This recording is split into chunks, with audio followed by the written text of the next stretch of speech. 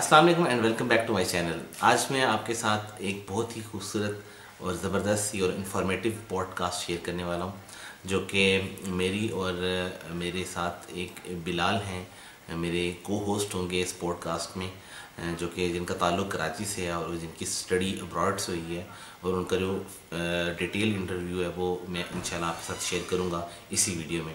Just ये introduction है। बिलाल परवेज़ ने 2024 में ही अपना एक नया चैनल बनाया है, जिसमें वो इन्वर्टर्स और सोलर्स और सोलर सिस्टम से रिलेटेड इन्फॉर्मेशन लोगों में शेयर कर रहे हैं। और सबसे मज़े की बात यह है कि मैं आलमोस्ट फोर ईयर से सोलर इन्वर्टर लाइक मैं अपने पर्सनल यूज़ के लिए उसके ऊपर आर एन डी कर रहा हूँ। लेकिन कुछ ऐसे क्वेश्चन थे जो कि मुझे कहीं से नहीं मिल रहे थे। और वो मुझे सिर्फ़ और सिर्फ़ बिलाल परवेज़ साहब के साथ डिस्कशन से, उनके चैनल से मिले, जो कि इनवेरक्स की सीरीज़ है वेरान टू के नाम से है। और उसके अंदर कुछ सेटिंग्स थी, जो कि मैं प्रॉब्लमेटिक थी, मेरे लिए बहुत प्रॉब्लम हो रही थी मुझे, जो सॉर्ट किया उन्होंने। मैं आपके साथ ज़्यादा टाइम वेस्ट नहीं करूँगा और मैं जल्दी बिलाल परवेज़ के और मेरी एक, हमारी एक म्यूचुअली पॉडकास्ट हुई है हाल ही में लाइक वन डेज़ बिफोर की बात है। उनके चैनल पे वो अपलोड हो गई है और मैं उनके चैनल का लिंक भी अपने इस डिस्क्रिप्शन में आपके साथ शेयर कर लूँगा। आप उसके उनके चैनल के ऊपर जाएँ और उनको सब्सक्राइब भी करें और बेल आइकन भी करें। साथ मेरे चैनल को भी बेल आइकन करें और इन हम फ्यूचर में बहुत सी इंफॉर्मेटिव सी पॉडकास्ट लेके आने वाले हैं। हम लोग इसके ऊपर वर्किंग कर रहे हैं। हम न्यू टेक्नोलॉजी और सबसे बेस्ट चीज़ ये है कि यूज़र फ्रेंडली देखिए, हम, जो सोलर से रिलेटेड यूज़र फ्रेंडली जितनी भी टेक्नोलॉजी है, उसको हम आपके सामने लेके आएँगे और इंशाल्लाह आपके लिए बहुत सी चीज़ें, बहुत सी सेटिंग्स रिवील करेंगे, जो कि अभी हिडन है लोगों को इन्फॉर्मेशन नहीं है। हमारे पास जो इंस्टॉलर्स हैं, वो इतनी ज़्यादा एजुकेटेड नहीं हैं बुकिश नहीं हैं।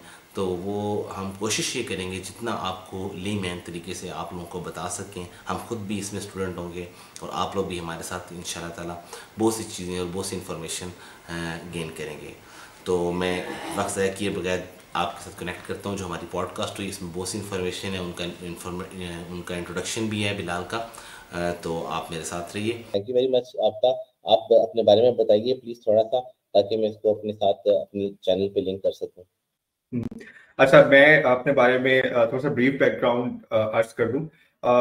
मेरा ताल्लुक कराची से है बोर्न हियर और सारी एजुकेशन वगैरह इधर से है एन एंड देन उसके बाद ग्रेजुएशन के बाद जो है, कुछ ऐसा यहाँ जॉब की, और उसके बाद तीन साल यहाँ पाकिस्तान में जॉब करने के बाद फिर मैं चला गया था जर्मनी वहाँ से एक मास्टर्स किया, और मास्टर्स करने के बाद तकरीबन ढाई साल वहाँ जॉब की, पाँच साल टोटल मैं जर्मनी में रहा हूँ। और उसके बाद 2018 में आई केम बैक और फिर तब से मैंने फिर यहाँ पे तकरीबन पाँच साल एक मल्टीनेशनल के साथ काम किया है और 2024 के स्टार्ट से I am doing my own work और जिसमें मैं डेटा एनालिसिस की सर्विसेज़ प्रोवाइड करता हूँ इंटरनेशनल क्लाइंट्स को रिमोटली और उसके साथ साथ यूट्यूबिंग मैंने स्टार्ट की है जस्ट आप समझें, डेढ़ महीना पहले। और वो इस तरह से आइडिया आया कि जब मैं आ, मैंने जब सोलर लगाया तो ये बेसिकली मेरा सेकंड सिस्टम है। इससे पहले भी मेरे पास एक और सिस्टम लगा हुआ था वो थोड़ा छोटा सिस्टम था तो तो जब मैंने अपग्रेडेशन की पहले सिस्टम में भी और ये वाला जो दूसरा वाला सिस्टम है इसमें भी तो आई नोटिस के they are lots of people जो कि इंस्टॉलर कहते हैं अपने आप को मैं उनको इंस्टॉलर कहता हूँ। बट इवन उन्होंने ना मैनुअल पढ़ा हुआ होता है डिवाइसेस uh, uh, का। ना और बहुत सारी चीज़ें हैं जो उनसे पूछो तो नहीं क्लियर होती। तो एक दो वीडियोस मैंने बनाई थी, जो प्रॉब्लम्स मैंने फेस की थी, जो बहुत बेसिक सी प्रॉब्लम थी, जिनका सोल्यूशन मैनुअल में लिखा हुआ था। और वो क्लिक की यूट्यूब पे, फिर लोगों ने मुझे और प्रॉब्लम्स उन्हीं के कमेंट्स में मुझे बताया तो मैंने और वीडियो बनाना शुरू की। एंड देन फिर मुख्तलिफ़ लोगों से मेरे मतलब कम्युनिकेशन डेवलप होती गई, जिसमें से आप भी एक हैं। तो और फिर जब आपसे बात हुई थी और आपने भी वही वाली प्रॉब्लम को आइडेंटिफाई किया जिससे मैं गुजरा था तो फिर मुझे ये आइडिया हुआ कि it's not only me there must be a lot of people जिनको ये प्रॉब्लम है और जब मैं लोगों से बात करता हूँ। तो मुझे ये फील होता है कि हाँ ये वाली जो प्रॉब्लम है uh, ये बहुत कॉमन है और शायद इसकी एक रीजन ये भी है कि जो सोलर इंस्टॉलेशन है या सोलर की जो चॉइस है कि अगर आज 2024 में एक बंदा चूज़ करने जा रहा है और उसको कुछ नहीं पता तो there is no single platform जहाँ पे स्ट्रक्चर्ड वे में uh, चीज़ें या कोई गाइडलाइन अवेलेबल हो। और अगर आप शॉप्स पे जाएँ तो वहाँ पे भी कोई क्लियर पिक्चर आपको uh, नहीं होती। बस आपसे पूछते हैं कि uh, क्या आपका बजट है? उस तरह से है सिलसिला। तो आप भी फिर थोड़ा सा बताएँ अपने बारे में भी और आपका क्या एक्सपीरियंस इस पूरे प्रोसेस में रहा है वो थोड़ा सा बताएँ आप। जी अस्सलाम मैं आपके चैनल पे सब लोगों को जो लोग आप लोग को ज्वाइन कर रहे हैं मैं सलाम करूँगा। Sorry for the background noises actually nobody knows की जो है आज हम लोग पॉडकास्ट करने जा रहे हैं और थोड़ा सा रमज़ान चल रहे हैं और आगे पीछे गेस्ट वगैरह आते जाते रहते हैं। तो बच्चे हैं उनको हम रोक नहीं सकते। Sorry for that background noises फिर मैं एक छोटा सा प्रोजेक्ट था जिस सिलसिले में मुझे साउथ पंजाब जाना पड़ा। साउथ पंजाब में जाके सबसे पहले लाइक अब कहते हैं कि हम सोलर को क्लिक करने लगे। साउथ पंजाब एक में बहुत ज़्यादा गर्मी सेक्शन के साथ अटैच होता है। गर्मी शदीद थी रहीविया खान के एरिया था साथ में में किया मैं फैमिली की तो वहाँ पे सोलर की डिप्लॉयमेंट की रिक्वायरमेंट थी। तो जिसे कह सकते हैं कि बहुत ही स्टार्टअप स्टार्टअप था पाकिस्तान में। लोग इतना ज़्यादा अभी नहीं जा रहे थे डर रहे थे लेकिन सोलर की प्राइस बड़ी कंट्रोल थी। मैंने फ्यूचर में इसको मतलब एक एम किया और 4.2 केवी का सोल्यूशन था जिसके साथ मैंने तकरीबन फाइव की जो है plates six multiply by six plates और 4.2 केवी का इन्वर्टर लेके डिप्लॉय करवाया। एक लोकल इंस्टॉलर था लेकिन उसने बहुत अच्छा डिप्लॉय किया मैंने उसके साथ डिस्कस किया चीज़। उससे पहले मैंने बहुत सी आर की। पाकिस्तान में उस यूट्यूब चैनल में बहुत सी चीज़ें चल रही थी लेकिन मुझे इंडियन चैनल से मिली एक यूट्यूब की इंडियन चैनल okay. इसमें आ मतलब ये कि वो डिप्लॉयमेंट की वो पाकिस्तान में अभी स्टार्ट इतनी नहीं हुई हुई थी क्योंकि वो एंगल और समर और विंटर को देख कर कर रहे थे जो कि खासतौर पे प्लेट्स इंस्टॉलेशन है। तो मैंने उसको क्लोजली काम किया मुझे इंटरेस्ट भी डेवलप होता गया मेरा तो फिर मैंने इसके ऊपर और कोशिश कि हम मतलब किस किस्म की प्लेट्स हैं पाकिस्तान में तो ब्रांड में ज़्यादा इसलिए नाम नहीं लेना चाह रहा हूँ क्योंकि फिर हम बहुत ज़्यादा ब्रांडिंग स्टार्ट हो जाएगी वैसे हम्म। जो था वो फ्रोनस का जो था इन्वर्टर था तो प्लेट्स हम्म। जो थी वो नॉर्मल 500 वोल्ट जो कि 11 एम्पियर्स के ऊपर एक प्लेट काम करी थी मैंने सिक्स प्लेट्स थी थ्री के वी उसको बनाया और हम्म। अल्हम्दुलिल्लाह मेरा जो था वो एक ए सी क्योंकि वहाँ पे गर्मी ज़्यादा थी तो वो हाँ। बड़ा मज़ेदार उसने किया और वो सारा सारा दिन चलता था। जिस वजह से हमारे सदर था। मेरे पास वो बड़ा पीस था और टू रूम्स थे और जिसे कह सकते हैं two B H K type था। एक हॉल था छोटा सा। हमने हॉल में लगाया जो दोनों रूम्स को कवर करता था एसी हम्म। दोनों रूम्स के ओपन कर डोर तो वो हॉल भी आपका हम्म। तो भी थोड़ा सा लगता था ओपन किचन था। हम्म। तो मेरा जो है ना मेरी मतलब पर्पस जो है ना फुलफिल हो गया तो अब इसमें क्योंकि इसी से मुझे क्वेश्चन आया माइंड में जो कि लोगों के लिए बेनिफिशियल होगा, क्योंकि आपने एक तो आपका बैकग्राउंड काफ़ी स्ट्रॉन्ग है तो उसकी वजह से जैसी बात है जब आपने लगाया होगा तो आपने बहुत सारी चीज़ें मद्देनजर रखी होंगी। एज कंपेयर विद एक लेमैन जो कि ऑब्वियसली सिर्फ़ बिजली बचाना चाहता है तो उसको एक नज़र आता है वो डायरेक्टली जाता है। इसमें आपने बात की एंगल की। तो इसके बारे में थोड़ा सा बताएँ कि जब आप साउथ पंजाब में थे तो वहाँ पे जो एंगल की सेटिंग थी और डायरेक्शन की सेटिंग थी उसके लिए आपने क्या किया और कैसे उस वक्त मैनेज किया? क्योंकि इस वक्त तो बहुत सारी चीज़ें इंटरनेट पे भी अवेलेबल हैं एप्लीकेशंस भी हैं पर एट दैट टाइम आपने किस तरह से मैनेज किया? एग्जैक्टली exactly, बहुत अच्छा क्वेश्चन आपने किया। जब भी हमें प्लेटें लगवानी है ना आजकल जो कस्टमाइज जो इंस्टॉलेशन आ रही है ना, इसमें सबसे बड़ा इशू यही है कि हम उसको खासतौर पर इस्लामाबाद पॉइंट ऑफ़ व्यू से, हमें इस्लामाबाद में लाजमी विंटर्स में इस चीज़ का ख्याल रखना है कि वो ज़्यादा टिल्ट होना चाहिए। क्योंकि एंगल ऑफ़ जो सन है, वो बहुत ही ज़्यादा, जिसे कह सकते हैं कि नैरो होकर निकलता है और वो आपको जनरेशन नहीं देता। क्योंकि मैं इस साल वो एक्सपीरियंस इस्लामाबाद में वापस आ चुका हूँ मैं राइट नाउ मैं इस्लामाबाद तो मैं जो है ना ये एक्सपीरियंस कर चुका हूँ। As compare to south Punjab south Punjab में ये था कि हमें पूरा साल सन भी मिलता है और पूरा साल आप समझें कि आपको वो सन, अगर आपकी, आप जो रूफ, जहाँ पे रूफ टॉप पे आपने इसको लगाया है, वो अच्छी जगह है लाइक ओपन है तो आपको ऑलमोस्ट मैक्सिमम सन मिलता है और मैक्सिमम जनरेशन भी होती है और आप उससे मैक्सिमम बेनिफिट ले सकते हैं पैनल से, ठीक है? उस वक्त जो नेट मीटरिंग है वो मेरे बिल्कुल जहन में नहीं था क्योंकि मैं एक रेंटल अपार्टमेंट था जो मैंने आपको बताया। तो नेट मीटरिंग की तरफ़ से मैं बिल्कुल नहीं गया। लेकिन मैं उसको डेली ऑब्ज़र्व करता था। जो एंगल की बात है वो मैंने वहाँ पे बिल्कुल उस वक्त में ऑब्ज़र्व नहीं कर पाया। लेकिन मुझे आइडिया था कि मैंने इसको ज़्यादातर मैक्सिमम समर पे रखना है। क्योंकि वहाँ पे विंटर्स हम्म। का कॉन्सेप्ट ज़्यादा नहीं था। और समर पे हम्म। रखने के लिए मुझे उसको ज़्यादा टिल्ट नहीं करना था। ज़्यादा कोशिश यही थी कि मैं उसको ज़्यादा टिल्ट ना करूँ। और वो जो लगा के गया वो बिल्कुल उसी एंगल पे लगा के गया और उसने मुझे कहा इंस्टॉलर ने कि सर जी ये जो मैं लाया है ना ये दो मौसम ज़बरदस्त चलना है। तो वो मुझे उसकी ये बातें याद थी। मुझे उस वक्त इस चीज़ का आइडिया नहीं हुआ जब वो लगा के गया। लेकिन फिर उसके बाद मैं इसको देखता रहा कभी कभी ऐसा होता था कि जब एक मैंने वहाँ पे विंटर्स भी देखा तो इतना ज़्यादा मुझे नहीं लेकिन मैंने देखा कि कंपैरेटिवली जो है ना डाउन मैं समझ रहा था शायद मेरी प्लेट्स जो है वो टाइम के साथ साथ जो है वो डाउन ग्रेड होना शुरू हो गई हैं। लेकिन ऐसी बात नहीं थी। जब दोबारा समझ स्टार्ट हुआ तो वो उन्होंने दोबारा मैंने कहा यार ये चक्कर कोई और गया तो अंडरस्टैंडिंग हम्म। हुई कि हमें बहुत ज़्यादा एंगल का ख्याल रखना जब आप या तो आप फ्लेक्सिबल हो आपके पास अंडरस्टैंडिंग होनी चाहिए कि आपके विंटर्स आ रहे हैं तो आप उसको टिल्ट कर लें। ऐसा हम्म। आपका इसमें इसमें मैं कुछ पॉइंट्स ऐड करना चाहूँगा।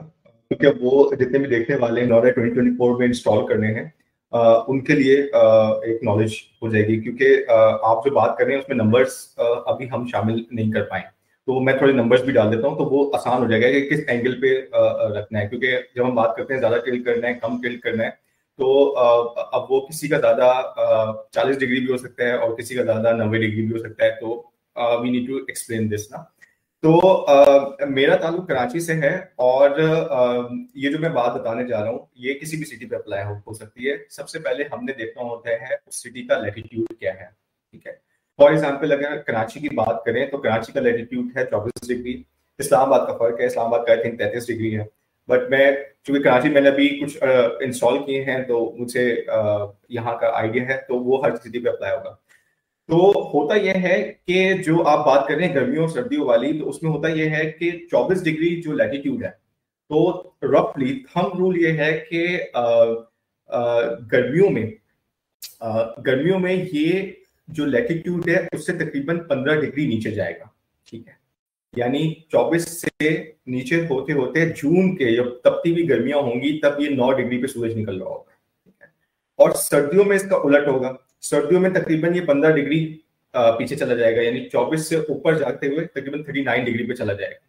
तो अगर तो किसी को कराची में, गर्मियों में ज़्यादा बिजली चाहिए तो उसको चौबीस डिग्री से नीचे रखना चाहिए। यानी 24 और नौ डिग्री के दरमियान में कहीं पे रख ले तो उसको गर्मियाँ ज़्यादा अच्छी इलेक्ट्रिसिटी मिलेगी। लेकिन फिर ऑब्वियसली वो कॉम्प्रोमाइज कर रहा होगा सर्दियों में। लेकिन चूँकि हमारे यहाँ जो कराची में सर्दियाँ हैं वो इतनी ज़्यादा नहीं होती कि हमें हीटर चलाने पड़े हैं या बहुत ज़्यादा हमारी यूजेज जो हम सिर्फ़ और सिर्फ़ लाइट्स चल रही होती हैं सर्दियों में। तो कराची के लिए तो ये वाला फॉर्मूला लगता है कि आपने 24 डिग्री से थोड़ा नीचे रखें चौदह पंद्रह डिग्री तक कर लें ताकि आपकी गर्मियाँ जो है वो काफ़ी हद तक कवर हो जाए। लेकिन फॉर एग्ज़ाम्पल अगर आप ठंडे इलाकों में हैं या ऐसे इलाकों में हैं जहाँ पे जो टिल्ट एंगल है वो ऊपर की तरफ़ रहता है तो फिर आपको उसी हिसाब से मैनेज करना होगा। और ये भी देखना होगा कि सर्दियों में अगर आपको ज़्यादा चाहिए तो फिर या तो आप लेटीट्यूड पे रखें या लेटीट्यूड से थोड़ा ऊपर रखें ये डिपेंड करता है जगह जगह की और रिक्वायरमेंट की। एक तो एंगल की बात है ये कि लेटीट्यूड नीचे की तरफ़ जाएँगे तो गर्मियों में ज़्यादा मिलेगा, ऊपर की तरफ़ जाएँगे तो सर्दियों में ज़्यादा मिलेगा। तो अपने शहर के लेटीट्यूड के हिसाब से आप डिसाइड कर सकते हैं। दूसरी चीज़ है जो कि आई एम श्योर के इस्लामाबाद में भी ये चीज़ आप लोग करते होंगे। वो है ट्रू साउथ क्योंकि हम इक्वेटर के ऊपर हैं। और क्योंकि हम इक्वेटर के ऊपर हैं तो हमें साउथ फेसिंग पे अपने पैनल्स लगाने होते हैं। साउथ फेसिंग से बात ये कि जहाँ पे हमारा टू साउथ बन रहा होगा, उसके बिल्कुल मैंने इसकी वीडियो भी बनाई हुई है, लेकिन मैं आपको बता देता हूँ। जब हम उसको ऐसे ऐसे मूव करते हैं तो बेसिकली हम साउथ की डायरेक्शन में आते हैं। अब अगर इस डायरेक्शन में साउथ है तो इस डायरेक्शन में साउथ ऐसे मैं पैनल लगाऊँगा एंड देन अगर कराची में 24 डिग्री पे रखते हैं तो उसको ऐसे 24 डिग्री उठा दूँगा ठीक है? अब ये साउथ की फेसिंग पे हो गया और 24 डिग्री लेटीट्यूड पे आ गया ठीक है? इसी तरह से होता क्या है कि जब हम छत पे लगा रहे होते हैं अपने पैनल्स अगर हम ट्रू साउथ को ना देखें और सिर्फ़ अपनी छत की जो डायमेंशन है या छत पे जो बेस्ट एंगल बन रहा है आ, समझ आ रहा है हमें उस हिसाब से लगा दें। तो ऑब्वियसली वो दिखने में तो खूबसूरत लगेंगे लेकिन जब सुबह के वक्त छह सात बजे सूरज निकलेगा तो कम से कम भी अगर आपने उसको सही एंगल पे नहीं रखा ट्रू साउथ पे नहीं रखा तो सूरज ट्रू साउथ पे आपने नहीं रखा, सूरज निकलना है इधर से। अगर आपने ट्रू साउथ को ऐसे रखने के बजाय ऐसे रख दिया तो सूरज जब निकलना शुरू होगा तो जब तक वो इधर नहीं आ जाएगा, ऊपर नहीं आ जाएगा। तो जो इनिशियल का एक दो घंटा है, उसमें जो आपकी इलेक्ट्रिसिटी की प्रोडक्शन है, वो या तो होगी ही नहीं या होगी तो बहुत ज़्यादा कम होगी। तो दो चीज़ें, एक तो वो वाली बात, गर्मी, सर्दी वाली बात, कि टिल्ट एंगल हमने उस हिसाब से सेट करना है। और दूसरा जो है वो ट्रू साउथ को सेट करना है ताकि इधर से भी और जब वो गुरूब हो रहा हो दूसरी तरफ़ भी हमें मैक्सिमम इलेक्ट्रिसिटी जो है वो आ, आ, मिले ठीक है? और दूसरा मुझे क्वेश्चन आपसे एक और करना है कि अभी जो आपने सिस्टम लगाया हुआ है ठीक है? तो वो कौन सा सिस्टम लगाया हुआ है? आ, उसकी जो आ, आपने चॉइस किया वो सिस्टम तो थोड़ा सा बताएँ कि उसके पीछे पूरी केमिस्ट्री क्या थी थिंकिंग प्रोसेस क्या था? और यही सिस्टम आपने क्यों चूज़ किया? अभी जो है, मैं इस्लामाबाद में वापस आ गया था, ये लास्ट ईयर की बात है। तो मैं वहाँ से जब वापस आया साउथ से तो मैं साथ में वो जो मैंने आपको बताया कि 4.2 पॉइंट टू मैंने वो जो फ्रोनस का लिया हुआ था, वो मैं साथ ले आया था अपने, और वो प्लेट्स भी ले आया था। क्योंकि मुझे उसकी रीसेल वैल्यू की नज़र नहीं आ रही थी, और मेरे पास ऑप्शन था कि मैं उसको इजीली ला सकता था। तो वो मैं ले आया और मैं यहाँ पे आके मैंने उसको इंस्टॉल भी करवा लिया, एक साथ हेल्पर ले लिया और कुछ केबलिंग मैंने खुद अपनी मर्ज़ी से करवाई ताकि मैं चाह रहा था कि इसको जितना स्टैंडर्डाइज कर सकूँ वो मैंने किया। जब वो मैंने चलाया तो समर्स में कुछ लाइक मिड समर के अंदर ही जुलाई का टाइम था, जून, जुलाई तो वो फ्लोरेंस में भी प्रॉब्लम आना शुरू होगी क्योंकि मैंने फील ये किया कि जहाँ पे मैंने इसको इंस्टॉल किया वहाँ पे रूम टेम्परेचर भी ज़्यादा था। और रूम टेम्परेचर ज़्यादा था और मुझे ऐसा लगा कि जैसे कि उस वो हीट की वजह से उसको मुझे प्रॉब्लम आई है। तो हम्म। उसने आ, कुछ चार मुझे एग्जैक्टली याद नहीं आ रहा कुछ प्रॉब्लम उसमें थी तो मुझे उसको ले जाना पड़ा। हालाँकि वो वारंटी में था और वारंटी में मसला ही प्रॉब्लम एक और बता दूँ कि फ्रोनस उस वक्त इतना सपोर्ट नहीं कर रहा था मुझे। वारंटी के लिए लिहाज से। फिर मैंने कहा कि मैं क्यों ना फिर किसी लोकल किसी को दिखा दूँ जो कि इसको टेक्नीशियन वगैरह जो उसको देख सके। तो मैंने दो चार लोगों से डिस्कस किया और अलबत्त उसने मुझे रिपेयर करके दे दिया रिपेयर भी किया उसने। रिपेयर करने हम्म। के बाद मुझे जैसे कहते हैं ना कि उसके अंदर ऑटोमेटिकली शिफ्टिंग जिस तरह चार्जिंग पे है तो वो फिर चार्जिंग ही करी जा रहा है। या अगर वो सोलर पे है तो वो वाटर पे शिफ्ट नहीं हो रहा या इस तरह की सिचुएशन थी। या मुझे मैनुअली जो है ना जाके देखना पड़ता था। आल दो के वो जब मैंने लिया था वो बहुत अच्छा इन्वर्टर था और वो मैं उसमें उस वक्त भी मोबाइल ऐप थी और वो स्पाइक okay. था और सब कुछ था उसमें। हम्म। वो बिल्ट था सब कुछ उसके अंदर। Just hmm. उसको मैंने अपने लोकल वाईफाई से कनेक्ट करना था और उसको मैं ग्लोबली कहीं से भी एक्सेस भी एक्सेस कर पा रहा था। और जो रीडिंग्स थी वो बहुत करीब होती थी। एक्चुअल नहीं होती थी क्योंकि एक्चुअल जो उसकी एलसीडी के ऊपर या एलईडी के ऊपर जो रीडिंग्स आ रही होती थी उससे थोड़ा सा डिफरेंट कर रही होती थी जो मोबाइल ऐप पे आ रही होती लेकिन मैं समझता था कि शायद कुछ इसमें अंदर कोई होगा या जो इसकी कंजम्पशन है जो इलेक्ट्रिसिटी की है वो शायद थोड़ी सी डिफरेंट है। या शायद वो वाटा की जो अपनी कंजम्पशन है वो नहीं बता रहा। वो सिर्फ़ ये बता रहा है कि आपके घर का लोड कितना है।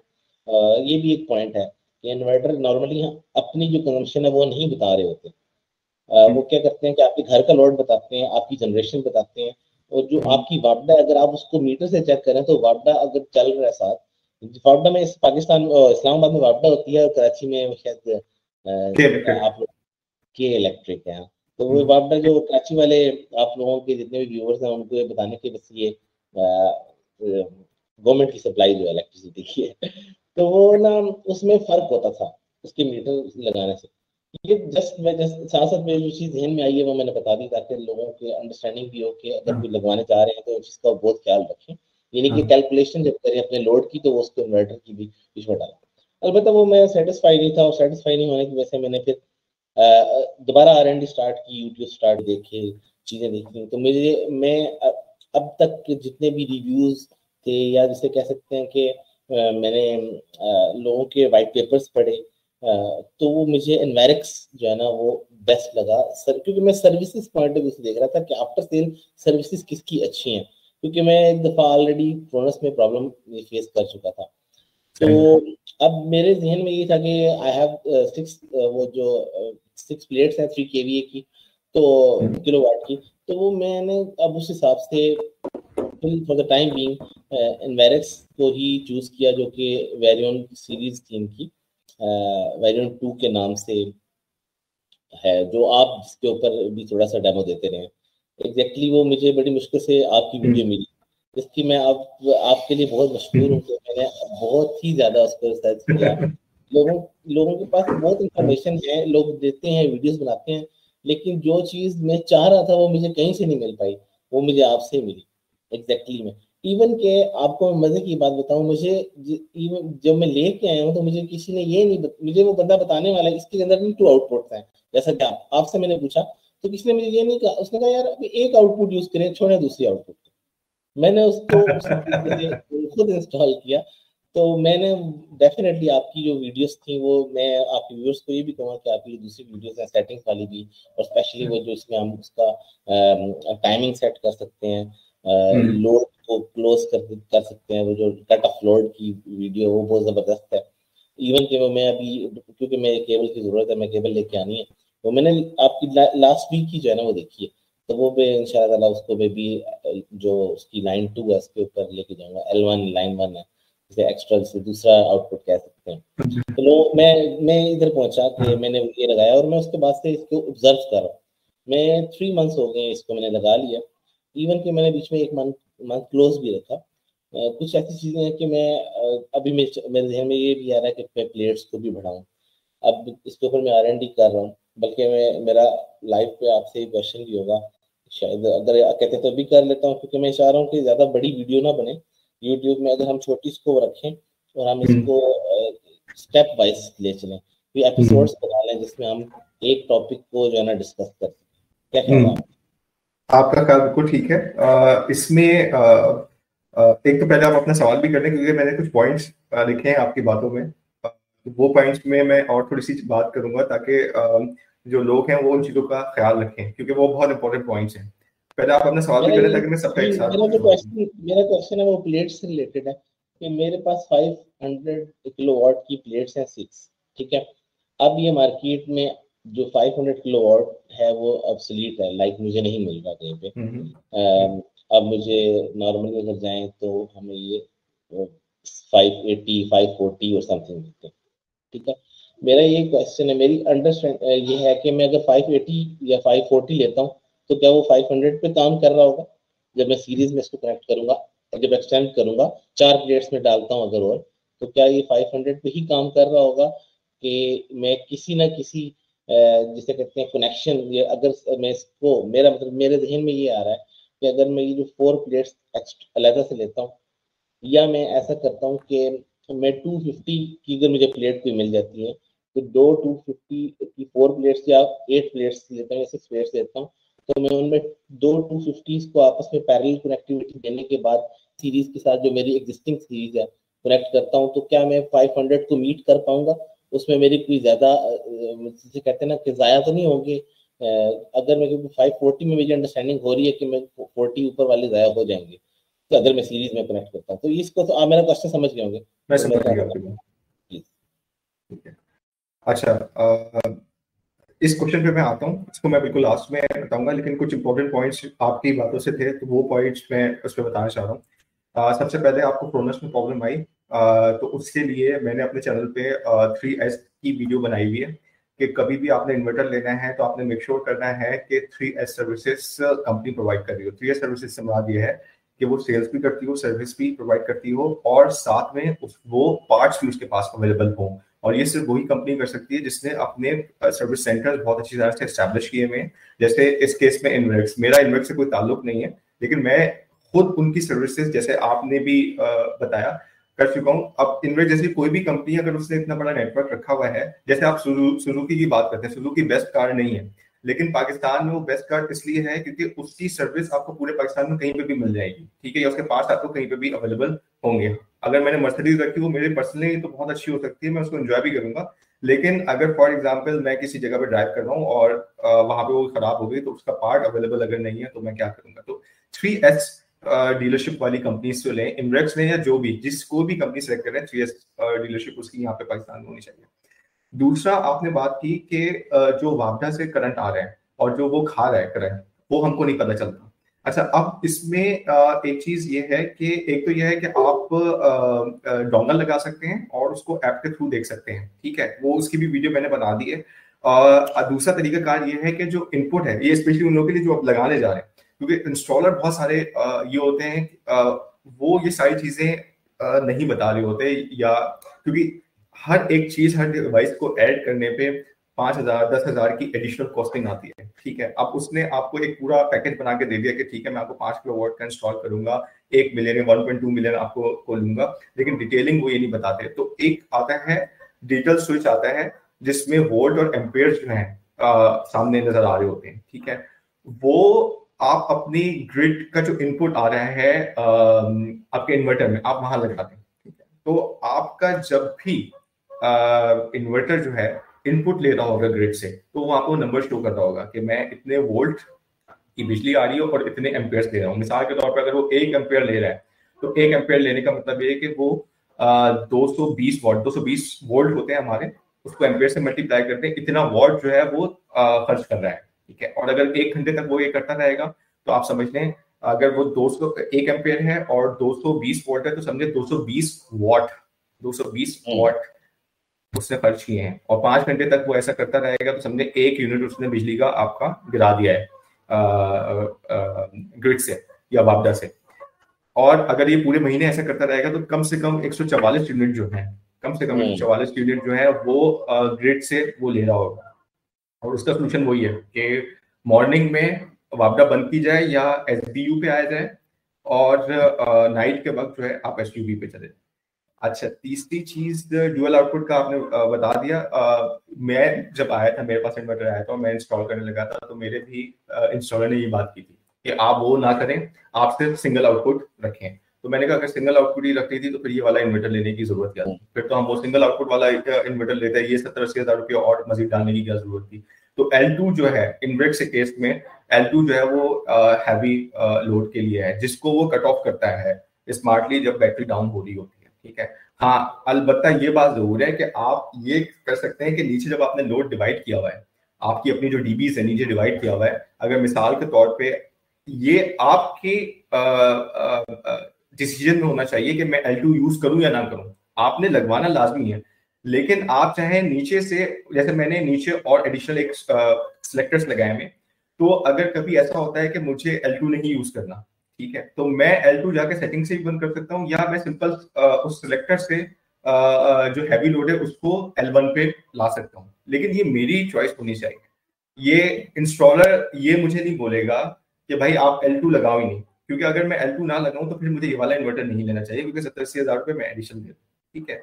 उसके बाद आते हैं आपके क्वेश्चन पे प्लेट्स ये बहुत इंपॉर्टेंट और वैलिड क्वेश्चन है बिकॉज़ मैंने अभी एक और वीडियो बनाई है कि किसी के पास अगर पाँच से छह लाख रुपया है और उसके घर का लोड पाँच किलो वॉट है या फाइव किलो वॉट का उसने सिस्टम लगाना है अब पाँच से छह लाख में तो पाँच किलो वॉट का सिस्टम नहीं लगता ठीक है? उसके लिए आपको कम से कम भी एक मिलियन या वन पॉइंट टू मिलियन चाहिए आज की डेट में। तो अगर किसी ने ये है कि मेरे पास आज पाँच लाख है, मुझे पाँच किलो वॉट का सिस्टम लगाना है तो वो क्या करे? उसका सोल्यूशन वही है जो आपने किया है कि पहले आपने एक लिमिटेड प्लेट्स लेके एक सिस्टम लगा लिया एंड देन जैसे जैसे आपके पास पैसे आगे आएँगे, आप उसको इंक्रीज कर लेंगे। लेकिन उसमें अब ये वाली प्रॉब्लम समटाइम्स आती है, जो आपको आई है कि 500 की आपके पास जो है एक्सक्यूज मी 500 की आपके पास छह प्लेटें लगी हुई यानी तीन किलो वॉट की प्लेट्स अभी लगी हुई ठीक है। इसमें अब आपको अगर मार्केट जा रहे हैं 500 की प्लेट नहीं मिल रही। बेस्ट तो यही है कि 500 की मिले। ठीक है, अगर 500 की नहीं मिल रही है 550 की भी मिल रही है तो आप वो ले लें। उसमें ये छह प्लेट्स हैं और छह प्लेट्स तीन किलो वॉट बना रही हैं। ठीक है? वेरॉन टू का जो मैक्सिमम पीवी कैपेसिटी है, वो 6.5 किलोवाट है। यानी आप 500 की मजीद छह प्लेट्स लगा सकते हैं। या छह नहीं, बल्कि आठ प्लेट्स लगा सकते हैं। सॉरी सात। सात, क्योंकि six point five kilo watt जो है, वो मैक्सिमम पीवी लोड लगा सकते हैं। तीन आपने ऑलरेडी लगाया हुआ है। तो साढ़े तीन किलो वॉट की अगर एडिशनल प्लेट्स लगानी है तो पाँच सौ की सात प्लेट्स और आ सकती हैं। लेकिन आपके केस में, अगर मार्केट में आपको 540 या 550 मिल रहा है तो आप छह प्लेट्स ले लेंगे उसकी। ठीक है? और ये वाली जो प्लेट्स हैं ये प्लेट्स सेपरेट रहेंगी और वो वाली प्लेट सेपरेट रहेंगी, ठीक है? उसकी स्ट्रिंग सेपरेट होगी, इसकी स्ट्रिंग सेपरेट होगी, ठीक है? और ये पाँच, ये ये वाली जो प्लेट्स हैं, ये सीरीज़ में जाएँगी और वो जो नई वाली प्लेट्स आएँगी, वो सीरीज़ में जाएँगी, ठीक है? और फिर ये आपस में पैरेलल कनेक्ट होके लगेंगी।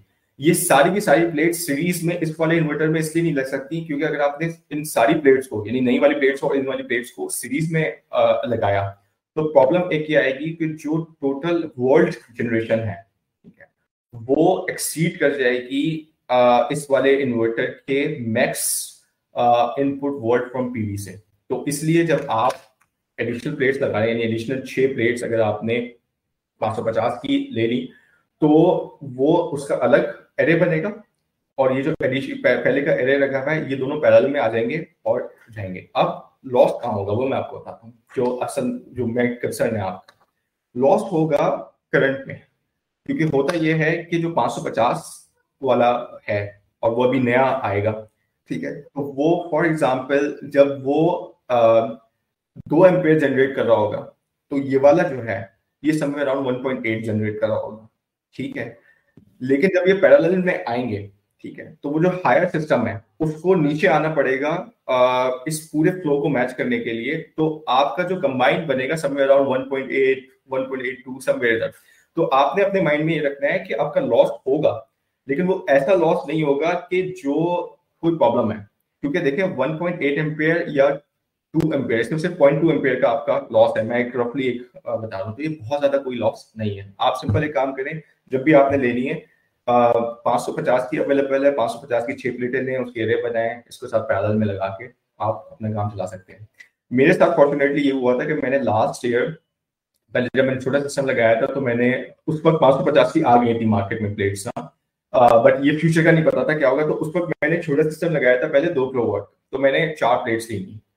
और फिर जब मेरे पास पैसे आए तो अब मेरे, मेरे मुझे चॉइस करना था चूज़ करना था कि मैं इन्वर्टर लेके रखूँ या प्लेट्स लेके रखूँ तो मैंने पहले प्लेट्स लेके रखी वही 550 वाली। मैंने कहा ऐसा ना हो कि आगे जाके ये मार्केट में ना हो और इन्वर्टर तो हमें एक ही लेना है तो वो हम आगे भी अगर कोई नया मॉडल आता है तो चूज़ करेंगे। तो मेरी तकरीबन साढ़े छह किलो वॉट की प्लेट्स लगी हुई है। मतलब मैंने पूरी मैक्स पीवी की प्लेट्स लगाई हुई है और इसी तरह से दो एरेज हैं उनकी।